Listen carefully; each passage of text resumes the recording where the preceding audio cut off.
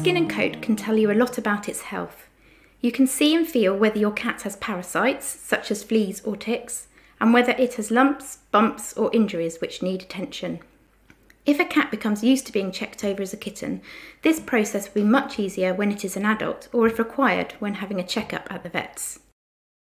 Checking the coat and skin requires moving the hair backwards, which is not how you stroke your cat or your cat would normally groom. Therefore, your cat needs to learn that this is not threatening. Start simply and keep sessions short, progressing to the next step when your cat is fully comfortable with each step. As with all handling and training, having your cat relaxed makes teaching and learning much more successful and enjoyable. Start with your cat facing away from you, as this is less threatening and can help your cat feel comfortable with the handling. To help make the touching enjoyable, use a reward.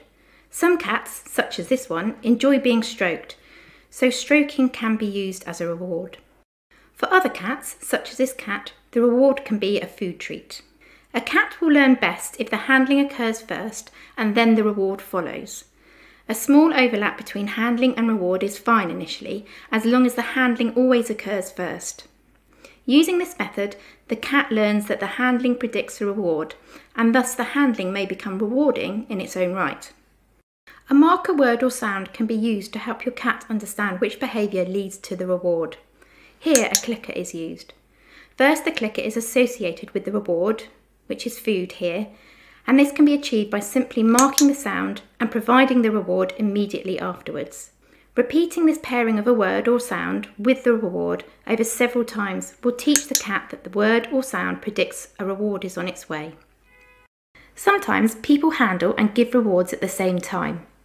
While this can be a useful distraction for a one-off situation, your cat may never learn to tolerate the handling without a reward being given at the same time. So it is best to teach your cat that handling predicts a reward is on its way for long-term acceptance of the handling. Handling should always remain within the boundaries of what your cat is comfortable with. Thus handling should start with the most tolerated form.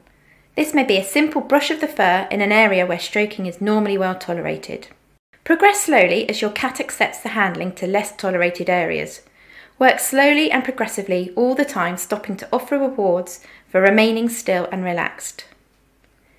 How quickly this handling progresses depends very much on the individual cat, so always be guided by your cat's body language and how comfortable it appears to be. Veterinary care of your cat may involve using a treatment for parasites, which can be applied to the skin on the back of the neck.